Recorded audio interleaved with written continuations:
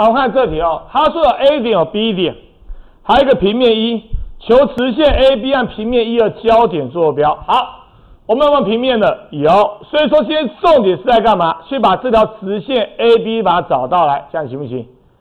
好不好？先找出直线 AB 的方程式和一联立，就可以求出交点了嘛？好，直线 AB 的方程式怎么算？这时候这里是空间，对吧？空间当中求直线。最常用到是什么是参数式按对称比例式。好，因为我要去求这条直线这条这个平面什么交点嘛，所以说老师建议大家用什么式？用参数式。为什么？因为参数式可以直接去假设点坐标，对吧？所以说怎么算参数式？第一个，先找出这条直线 AB 的方向向量，也就是向量 AB 行不行？算出来事情零负一。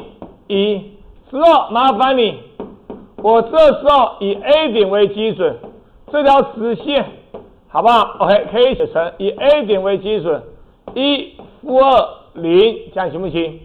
当我 x 增加零 t 的时候，y 轴会少掉一 t，z 轴会增加一 t，这样行不行？把它填上去，其中 t 属于什么 r，这样可以吗？好，我今天要求这条直线和这个平面交点，对不对？所以说我去假设，好不好？交点 P 是几？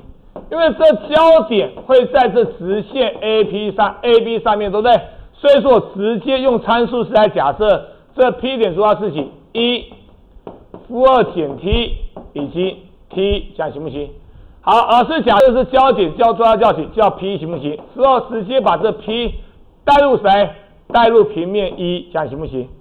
之后把它带进去，好不好？把 x、y、z 带进去，带进去是几？一、二 y 带进来，负四减二 t，好不好？减力带进来减 t，再减二等于几？零，这样行不行？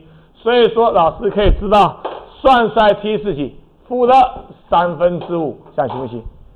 所以说，老师这时候把 t 算出来是负的三分之五。好，算出来 t 之后，把 t 带回去，去把 P 点坐标把它算出来，这样行不行？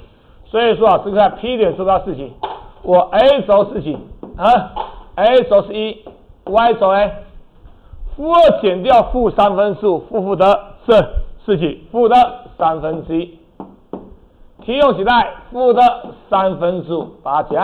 带进来，这样可不可以？可以后，麻烦你把这边看一下。